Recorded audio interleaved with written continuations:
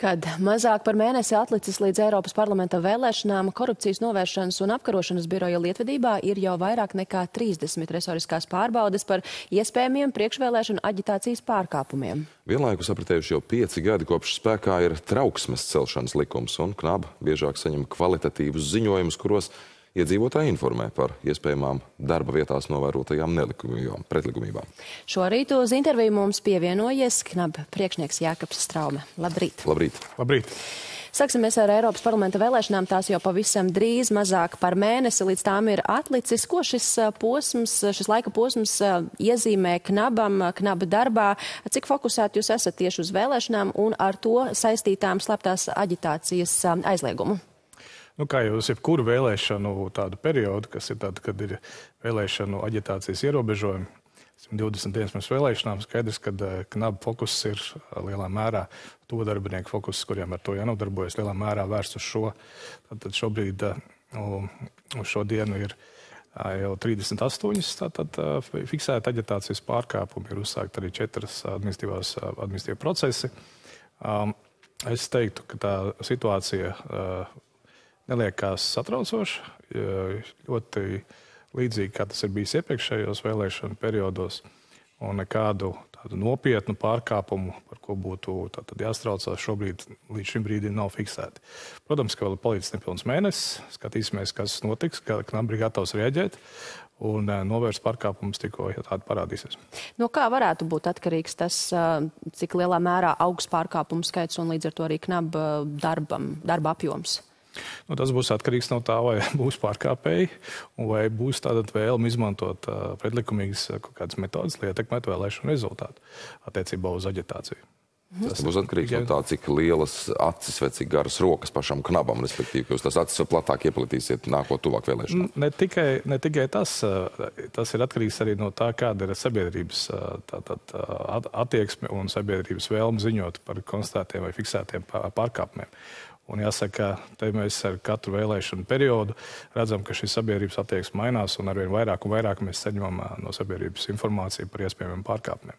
Un parasti arī priekšvēlēšanu posmā, tad arī jo tuvāk ir vēlēšanas, jo arī vairāk ir pārkāpumu. Tāda tendence ir novērota? Jā, tāda tendence ir novērota. Mēs baidamies, varbūt nebaidamies, bet mēs prognozējam iespējamību, ka pašās tātad, pēdējās dienās var notikt tādi tādu teiksim, pārkāpumu izdarīšanu, kā, kā vēlēšana aģitācija, izmantojot mākslīgo intelektu, kur faktiski tiek pasniegta nepatiesa informācija, aģitējot par vai arī pret kādu politisko spēku. Mēs, protams, būsim gatavi reaģēt.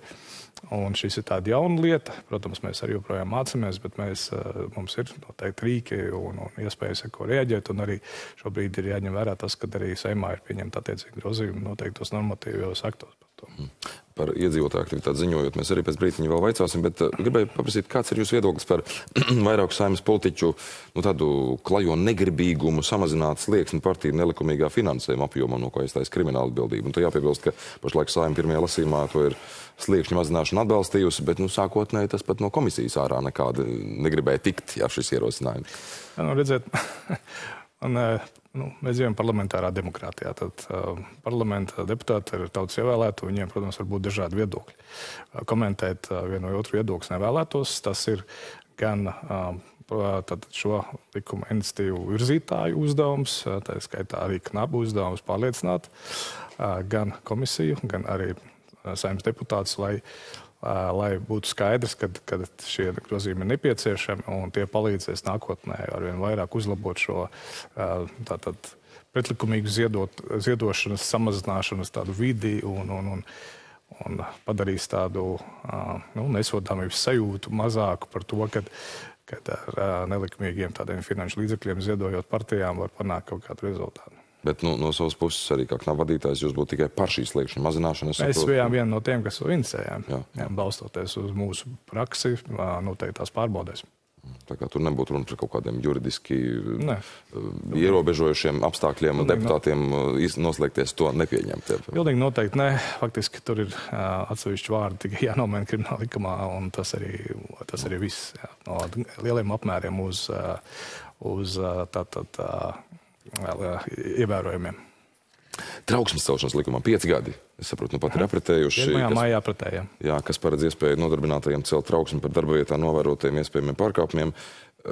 No knap bija tāda ziņa, ka pēdējā laikā aizvien vairāk esot saturiski kvalitatīvu ziņojumu. Kur tad vispār ir tā problēma ar tā satura kvalitāti? Līdz tam bijusi, vai kāda viņa var būt potenciāli? Es neteiktu, ka, satura kvalitāte ir tā būtība. Būtība tas, ka ē, šis likums bija jauns un bieži vien sabiedrības locekļi vienkārši neizprata, kāda ir šī likuma mērķis un uz kādām personām viņš var būt attiecināms. Jā, tad jābūt nodarbinātajiem konkrētajā vai nu valsts iestādē vai uzņēmumā, lai būtu, varētu persona tikt atzīta par trauksmes ē, cēlāju. Tas, ja kādas personas rīcībā ir informācija par kādiem pārkāpumiem, bet viņi nav nodarbināti, nu, tas, un viņi nevar atzīt par trauksmes cēlāju, nenozīmē, ka viņai nevajadzētu ziņot jebkurā gadījumā. Vienkārši nu, viņi nevarēs atzīt par trauksmes cēlāju. Jā, tas uh, ir mainījies. Ir arvien vairāk mēs redzam, ka sabiedrība nu, zina, vairāk izprot šī likuma jēgu, būtību. Un mēs saņemam tos uh, ziņojumus arvien vairāk tādus, kuros mēs varam atzīt par trauksmes cēlāju. Ja agrāk varbūt katrs uh, ot- uh, ceturtais, tagad jau mēs varam runāt par katru trešo, kas tiek atzīts par trauksmes cēlāju ziņojumu. Protams, ka arī tie pārējie, kas netiek atzīti, tiek izmantot, lai pārbaudītu. Vienkārši te ir runa par, tad mēs izmantojam varbūt iesniegumu likumu, nevis trauksmes celšanas likumu. Un ā, jūsu pašu knaba atsaucība, kā, kā jūs vērtējat ā, tieši uz iedzīvotāju sūdzībām, kādā līmenī tas ir ā, nu, jūsu pašu viedoklis, varbūt ir arī kaut kāda atgriezeniskā saite, ā, skats no malas bijis. Jā, mēs jau visu šī ietvarā ar tad, e, e, Eiropas ekonomiskās zonas fonda palīdzību faktiski pilnveidojām šo trauksmes celšanas platformu, radot tādu iespēju. ā, Tad, tad caur ziņo knabu, kas ir ne tikai aplikācija, bet arī platformā, kā, kā web rīks, atrast, re, rast iespēju, ka šīs personas, kuras ziņo, viņiem ir arī atgriezeniskā saite, viņi redz, kas notiek tālāk ar viņu informāciju, un ar viņu var sazināties, saglabājot par šīs personas anonimitāti. Ja tad tiek piešķirts kāds kods, un ar šo personu sazinās, darbinieks varbūt pat nezina šīs personas identitāti.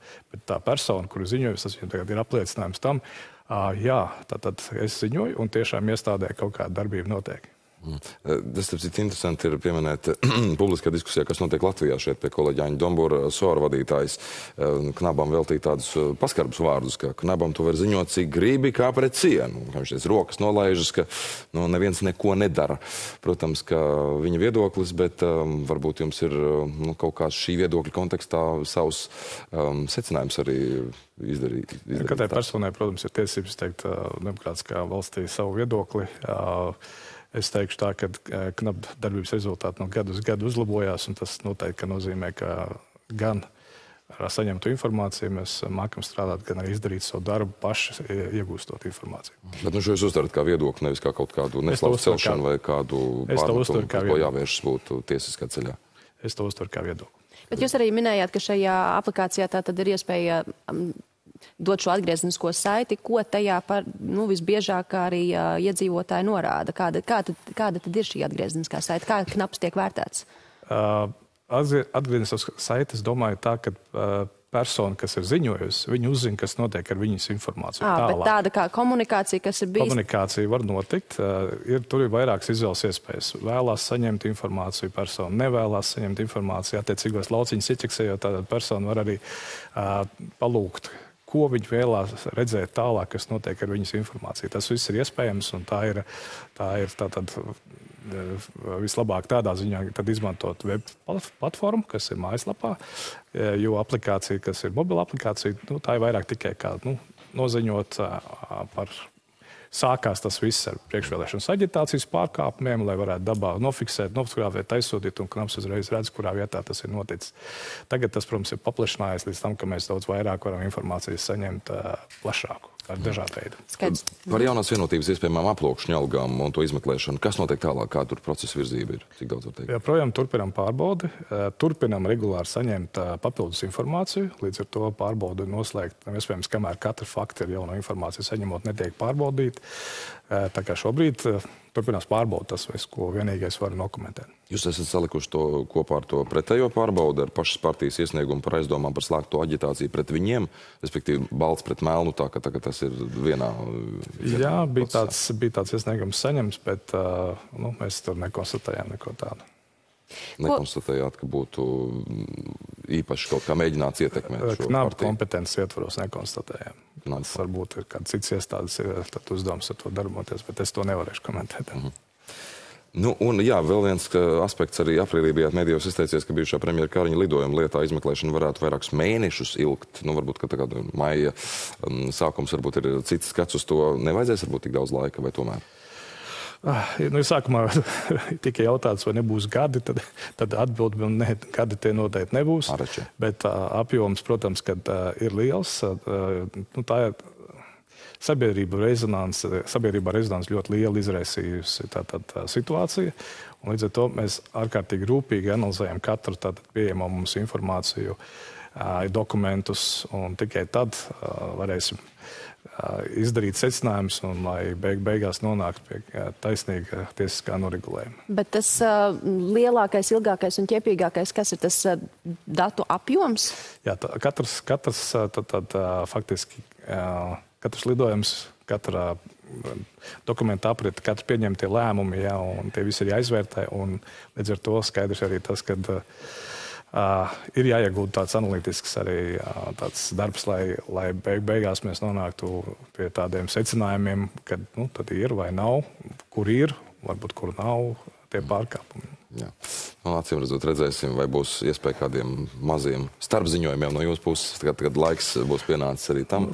Parasti jau mēs nekomentējam, kamēr izmeklēšana turpinās, jā, tas var traucēt bieži vien izmeklēšanai. Iespējams, Ļausim izmeklētājiem. Tas būs šis pingpongs, jā, mums būs jāturpina vaicāt jums sev, savukārt jāatbild par to, ka mēs nekomentējam, jo izmeklēšana turpinās. Paldies, ka nācāt šorīt. Paldies, Paldies jums, ka uzaicinājāt. Paldies. Paldies. Paldies.